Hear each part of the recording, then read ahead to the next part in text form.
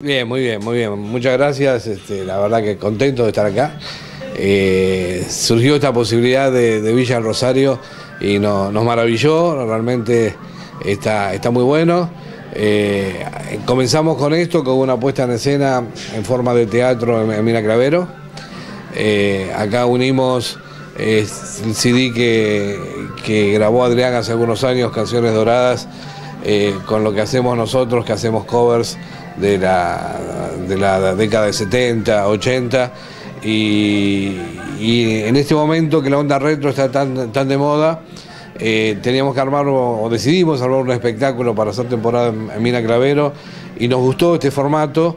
Eh, realmente el CD de Adrián tuvo mucho éxito en su momento y yo siempre le digo, te, anticipaste, porque, porque te anticipaste algunos años. Así que un poco lo convencí de retomar el CD, eh, bueno, él te va a contar, está grabando cosas nuevas, eh, de retomar el CD y hacer una propuesta para toda la familia. Porque esto es, yo siempre digo, los, que nacimos en los 60, que, crecimos con esta música, nuestros hijos crecieron escuchando lo que nosotros escuchábamos y, esta época marcó eh, algo muy particular en el planeta, ¿no? Porque hoy vos tenés éxitos que, que se fuman en 3, 4 meses pero Rolling Stone, Beatles, Pink Floyd, eh, fue una época, Phil Collins, Elton John y, infinidad, fue una época que, marcó en el planeta una historia muy importante, ¿no? Y, y, esto queda en el recuerdo. Y lo que nosotros queremos hacer o proponemos es hacer un viaje, un viaje al pasado. Un viaje donde cerres los ojos y te acuerdas del colegio secundario, te acuerdas cuando ibas a bailar, los asaltos, eh, de la mano de los hijos y de la mano de los nietos. Es un espectáculo integrado, armado para teatro, que ese formato lo vamos a llevar al, anfiteatro. Hay artistas en telas, viene el coro de Mina Clavero.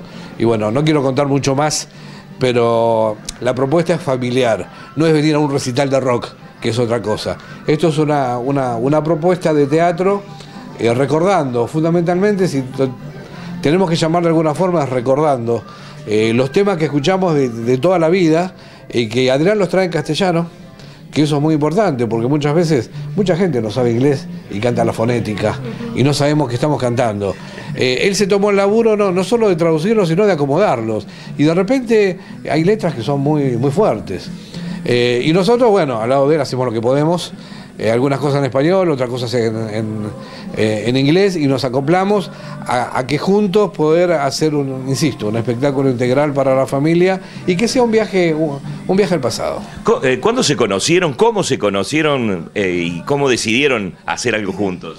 Bueno, esto, si, si tenés un rato te cuento, claro. Este, bueno, no, no, tenemos amistad de muchos años, ah, de otros ámbitos. Eh, yo siempre lo seguía a él, eh, siempre, bueno, yo crecí con esto, con Rata Blanca, siempre lo...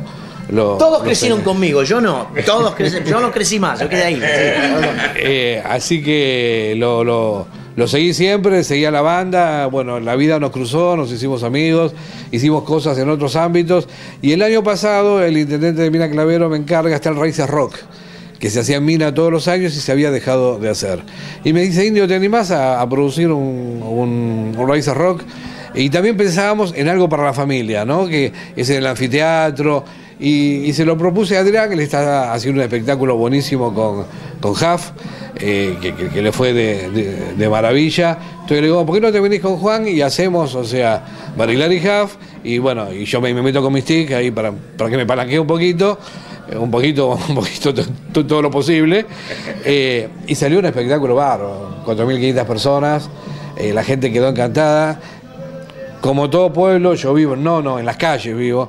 Eh, la cosa sigue, la onda expansiva sigue, se siguió hablando todo el año. Entonces este año quisimos dar un pasito más, hacer teatro y ya esto venimos agosto, septiembre, que lo agarré en Imperio. él, vive en Chacarita, en Chacarita, Buenos Aires está Imperio, que es una de las pizzerías más viejas de Buenos Aires, y ahí entre pizza y cerveza lo empecé a convencer, y bueno, acá lo tenemos. Y lo, y, lo, y lo piola de esto es que, bueno, esto fue para eh, Mira Cravero, las tres fechas, 10, 20 27. 11. Perdón, 11, 20 y 27, el próximo jueves 11. Y se da que con Mystic eh, conocemos a Flor, venimos a tocar acá, porque alguien nos vio allá en, eh, en el anfiteatro y nos conocimos por teléfono, hicimos onda y digo, bueno, vamos a Villa Rosario, ¿dónde queda?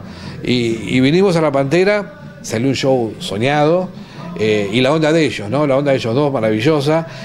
Y cuando termina el show, era como las 6 de la mañana, me dice, che, ¿qué van a hacer en el verano? Le digo, no, enero no podemos, por ahí hagamos algo en febrero. Y al otro día me levanto y me quedo pensando, y ese mismo día, eh, a la noche, acá tocamos un viernes, el domingo a la noche la llamo y le digo, mira, nosotros estamos preparando esto con Adrián. ¿Qué te parece para Villa del Rosario? Y arrancó sola. arrancó sola y gracias a ella, bueno, hoy estamos acá. Se definen como una banda que nació acá en Córdoba, se definen como una banda cordobesa a pesar de que sus integrantes no son todos de Córdoba. Totalmente. La banda nació en Buenos Aires. Eh, tenemos dos integrantes de Buenos Aires, que es el cantante y el velero, el baterista está está Mina Cravero, yo estoy en las calles, pero en Buenos Aires no dejamos de ser una banda más, y esto es, la verdad. No fue bien, pero no fue bien como a tantos. Y acá en Córdoba te decía, mira, el rock and roll con el cuarteto, y, la verdad que la misma gente, y fuimos soporte de Banda 21 y fue explosivo, este, y tocamos con un montón de cuartetos importantes de Córdoba, y, fue explosivo y nos aceptaron como hijos. Así que yo me defino como una banda de tras la sierra, totalmente.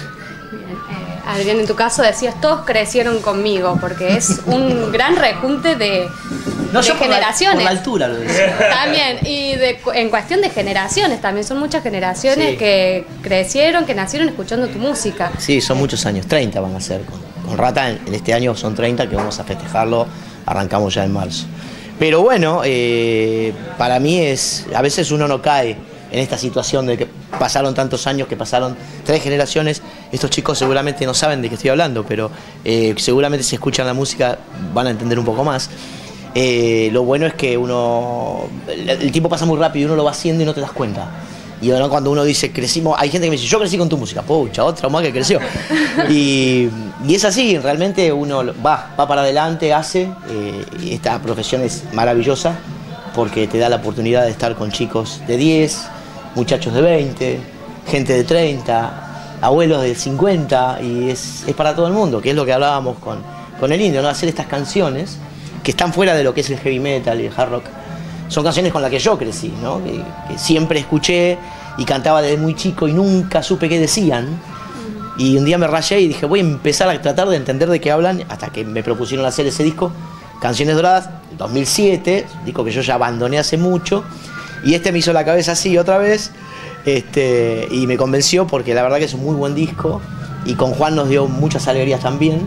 Y bueno, vamos a intentar hacerlo de nuevo acá en Mina y en Villa del Rosario. Vamos a ver qué surge. Venimos laburando bastante. Ya me crucé la, tras la sierra, me la crucé cuántas, cuatro veces, las cinco.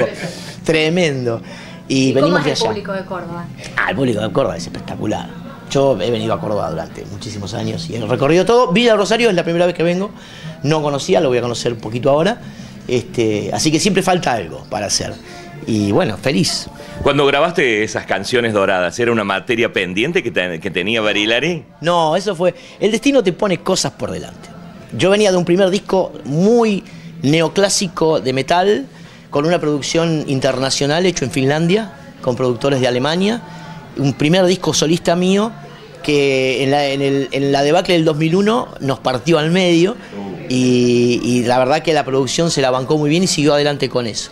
El problema fue que fue tan buena esa producción que no pudimos alcanzar una segunda producción con todo lo que pasó. Y yo quedé como en el medio de algo que, estaba bien hecho y no podía hacer una segunda parte, por cuestiones de dinero, por cuestiones de producción. Y, este país te sorprende todo el tiempo. Y entonces, un poco desahuciado, vino una vez un productor y me dijo, che, tenés que hacer covers. Un disco de covers. vengo de un disco de metal, voy a hacer un disco de covers. Me dice, mira, eh, Ozzy Osbourne está haciendo un disco de covers, y en ese momento Ozzy Osbourne estaba haciendo un disco de covers. Este, y había un par de artistas más internacionales. Digo, pero yo no canto nada en inglés, cántalo en español. ¿Te parece? Cántalo en español. Pero yo, eh, no, yo quisiera tener músicos más bien conocidos. Pone a quien quiera. Ok. ¿Y en qué estudio? Pon el estudio que vos quieras. O sea, todo era, dale, dejate de joder y hacelo. Tuve a Juan Chivaleirón, tuve a Ángel Mahler, tuve a Patricio Sardelli de Airbag, tuve a las hermanas Junta, tuve a Adrián Otero, Dios lo tenga en la gloria, en ese disco. Eh, la verdad que fue una maravilla poder hacerlo, agradezco haber hecho eso. Y esta circunstancia hizo que Canciones Doradas sea el disco de mi carrera que más vendió. ¿Por qué? Porque fue apuntado a otro género, fue apuntado a otra gente, eh, gente de todas las edades. Y fue bueno porque estaba hecho en español y la gente podía empezar a asociar qué decía la letra original, lo que decían los autores en su pluma. Y bueno, sostuvimos eso y la verdad que fue un placer enorme, que ahora, bueno, con, de la mano de él, este, lo vamos a volver a hacer eh, con músicos este, de la zona, estuvimos ensayando, este, con una apuesta importantísima, o sea, le tenemos mucha, mucha fe porque él se metió con todo y tenemos el apoyo de mucha gente, así que esperemos que esté bien. Bien, este disco Canciones Doradas tiene mucho para dar, pero ¿cuál crees que es la canción la que más pogo, la que más fuerza tiene, la que cantan todos cuando... no, no son todas canciones de ese disco, son algunas, porque es un show de una hora y tanto, entonces no alcanzaría un solo disco. Pero va a haber otras sorpresas, si no me como una mosca, va a haber otras sorpresas y yo creo que hay una canción que no te voy a decir cuál es, que es una canción exitosísima, eh, que no es inglesa y que no es americana, que es bien argentina, que no tuve que traducirla y no tiene nada que ver con el pop y con el rock. Pero hay que ir a escucharla. Eh, esa va a ser una sorpresa. Yo creo que va a ser la más aplaudida. Pero no la voy a decir. Bueno, hacenos la invitación. ¿Para cuándo es este show? Aquí en Villa del Rosario, muy Bien. Eh, Villa del Rosario va a ser esto el día 26, ¿sí? A las 21 horas, supongo, ¿no? Más o menos. Así que va a ser un espectáculo grande porque va a tocar Mystic. Seguramente habrá alguna banda. Vamos a tener una banda, una banda soporte. con Adrián siempre hablamos y apostamos a los chicos, apostamos a la juventud. Y siempre cuando hacemos algo grande en el anfiteatro, traemos chicos jóvenes. De hecho, Mina Clavero, estoy trabajando con bandas de chicos jóvenes, hemos hecho un concurso. Eh, Mystic tuvo la suerte de ser soporte de eh, No Te Va a Gustar hace algunos meses. Hicimos una selección de bandas para que sea el soporte nuestro. Son cuatro chicos de 16 años. Eh, uno tiene 18, otro 17, dos 16. La nena, porque es una nena que canta, tiene 16 años y son los que van a abrir el espectáculo. Y entonces es una forma también de dar ese empujón ¿no? que los chicos siempre van a necesitar y que nos va a poner en un escenario grande o sea que los nervios de esos chicos no se los van a olvidar más. Así que bueno, eso va a ser eh, un lindo show. Así que invitad a la gente de Villa Rosario y todos los, los que estén cerca, que se quieran venir el 26, 21 horas, Mystic, Adrián Barilari y estos chicos que tienen su nombre ya. Sí, pero no lo recuerdo. No lo recuerdo para todos. Me sale palanca al piso, pero no es palanca al piso, pero es algo parecido. Todos invitados, chicos.